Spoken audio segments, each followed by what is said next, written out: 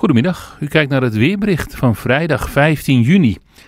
Wolkenvelden trekken er over Nederland, maar er zijn ook zonnige momenten. Op de satellietfoto is dat goed te zien dat er ook opklaringen zijn.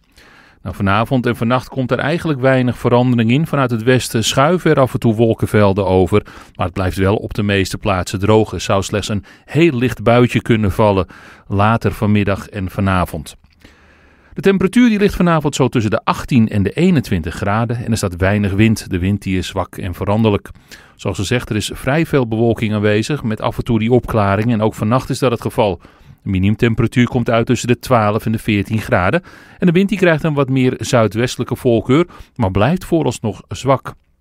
Morgen dan zijn er perioden met zon, maar ook vrij veel wolkenvelden. En ik denk dat dat van plek tot plek flink kan verschillen. Het kan hier en daar best wel tegenvallen door die bewolking, terwijl even verderop er toch echt flinke zonnige perioden zijn. De temperatuur die loopt op naar zo'n 18 tot 23 graden en de wind die waait uit het zuidwesten en is overwegend matig. En ook voor morgen geldt dat er in de loop van de dag heel lokaal een buitje kan vallen, een licht buitje. Op de meeste plekken blijft het overigens gewoon droog.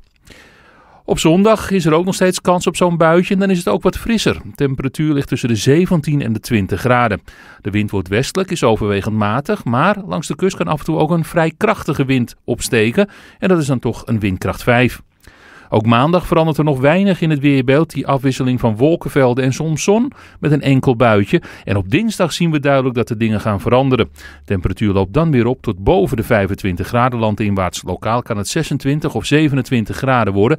En er zijn flinke zonnige perioden.